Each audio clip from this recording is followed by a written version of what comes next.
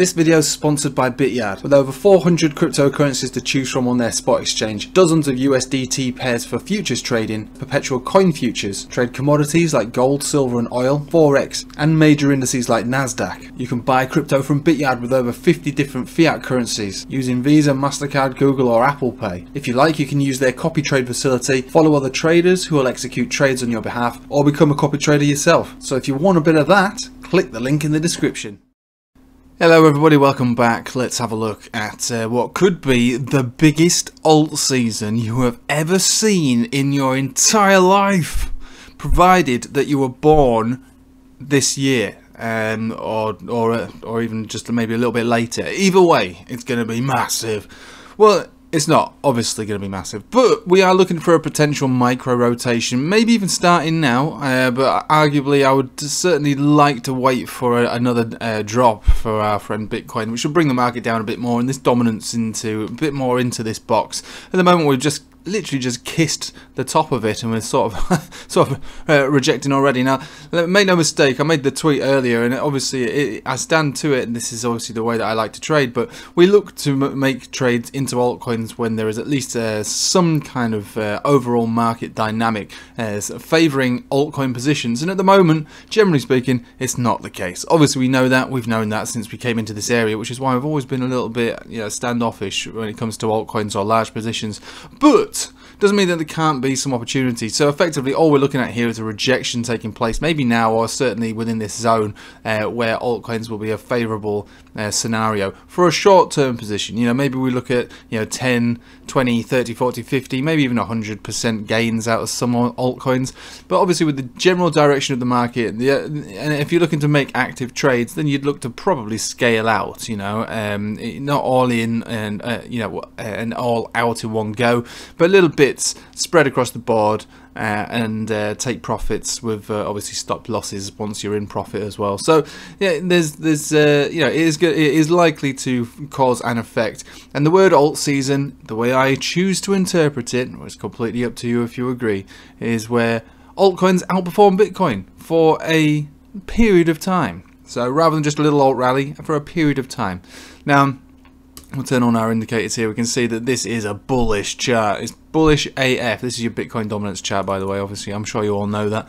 Um, but uh, yes, it's got every every hallmark of a continuation on the way up. So if we do get a rejection around this zone, which I think we will, uh, I think we will, uh, then uh, it's it's not going to go on for an inordinate amount of time. We've got absolutely every aspect of this chart, um, sort of really, really wanting it to go up further. But on the first uh, test of the resistance, which is what we're getting right now, fair play fair play, and get a, uh, get a rejection. So, we don't just jump into any altcoin that we want. Um, I mean, some people will, but that's not what we do. Uh, we look at some altcoins which at least have something going for them. All right. Uh, so I, this isn't. I've not spent hours going through all of these altcoins. So you know, it's and, and and again, you know, we're not in what I would consider to be a comfortable zone, but we have approached the first level of resistance for the Bitcoin dominance chart.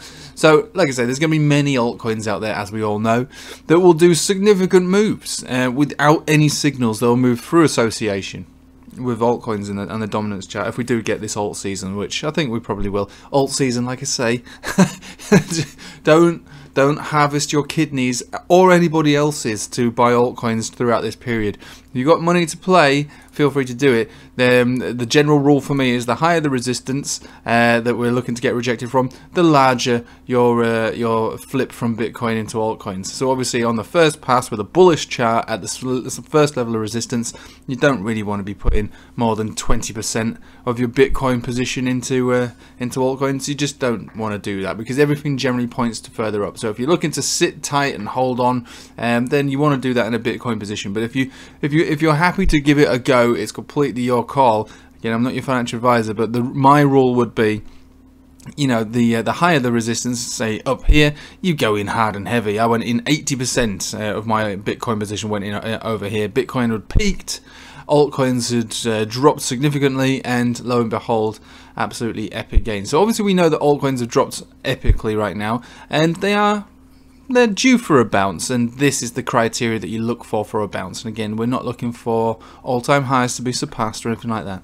So anyway, let's have a look at some of these. And again, yeah, there's going to be many better ones than this. This is just some of the ones that I've just loaded up as my daughter's gone to sleep. You know, uh, while uh, nap time starts, uh, the, uh, the, the YouTube channel prospers.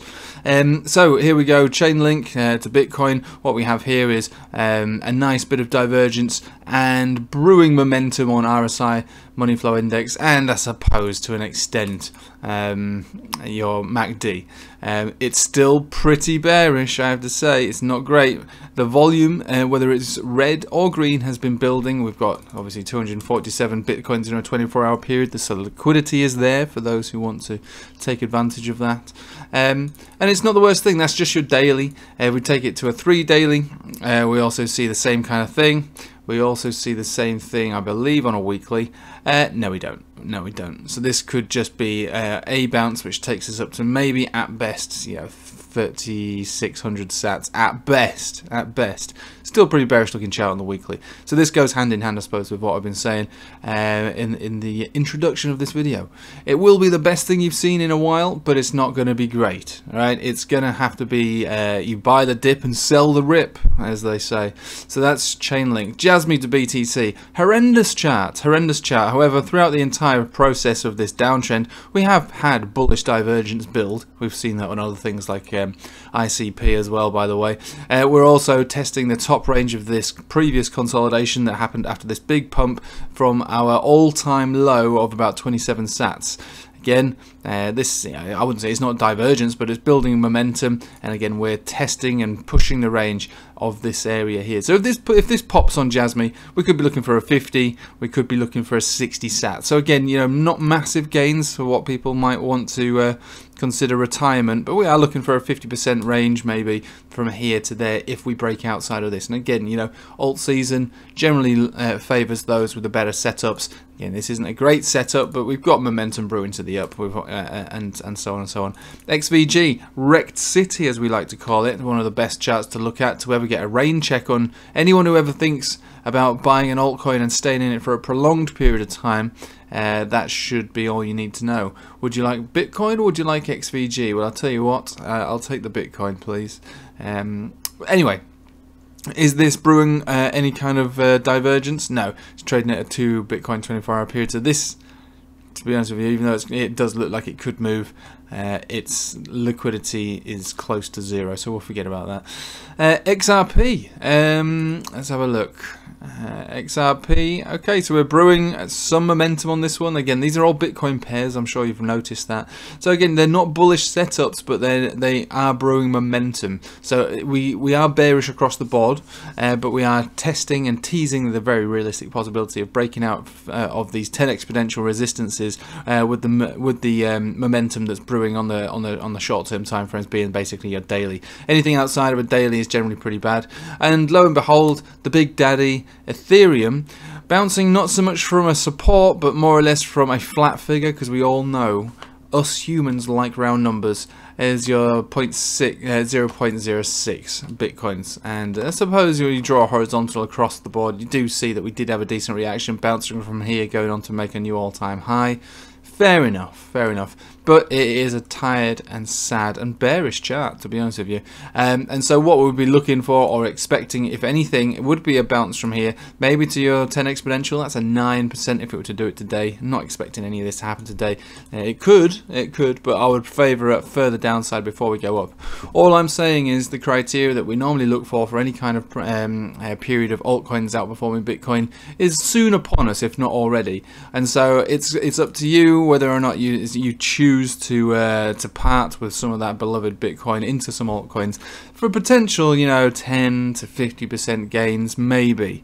But I would certainly be cautious about uh, what it is that you do, where it is that you take the position, uh, or if you do in the first place. Remember, the first level of resistance, when a bullish setup like this on the dominance chart, doesn't really permit any kind of long-term position but it would favour potentially uh, maybe a day or two or even a week or two. Who knows where we get you know the size of the rejection uh, of relief rally. Now it's interesting to recognize that yesterday that uh, Uh, traditional markets were actually up, and Bitcoin wasn't particularly up at all. And uh, the pre-markets so far are up as well. We've got some uh, some encouraging data flowing through about GDP and consumer spending, um, and that seems to have alleviated a little bit of fear in the short term uh, for uh, traditional markets. But Bitcoin and crypto is still not really feeling that. Not really feeling that. So uh, you you have to look at these and go, well, at least they've decoupled to an extent, for better or for worse, is what we wanted.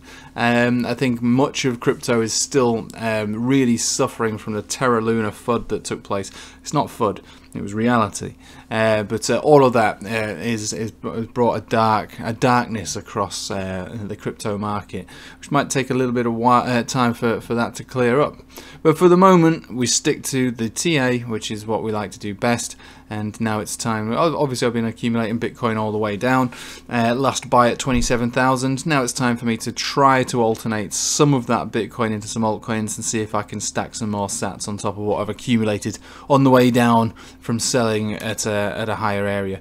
Either way, no guarantees. It's a risky business. If you really want to play a proper alt season, you would wait until we get to a much more significant area of resistance.